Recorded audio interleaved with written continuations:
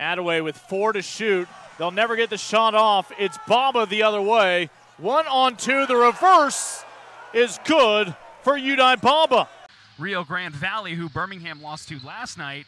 But you look at the roster this year, and the only word I can think of is stacked as Udai Baba underneath.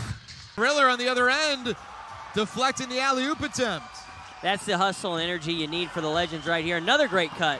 What a pass by Hollins, too, threading it.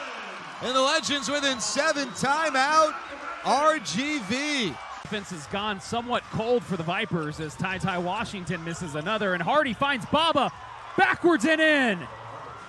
Just what we like to see. Hardy to Baba. Three point play right there. Quickly cuts the lead down to seven. Here's Baba. He gets a easy layup on I the mean, backdoor it, cut. It, it is just way too easy. Has to be on the court. You can talk about it in the locker room, on the bench, but you have to see it on the court from your players. It's a great delivery from Wright to Baba, who finishes. He's been around for quite some time. Spent some time with the Sixers and the Hornets. He was with the Swarm in Greensboro last year. He was a two-way guy with the Sixers at one point as well, so he knows what it takes to be an NBA guard. Here comes Tyler Dorsey.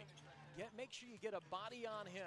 Backdoor Baba puts it up and in. Magic lost track of Udai Baba. Both Ian and Zekor have really compounded the defensive duties against the La Tech product. Here's Baba. Creates some separation. How about the move from Udai Baba? Need to know their employees need to be inspired, you know? And, uh, oh what just happened here? You die, Baba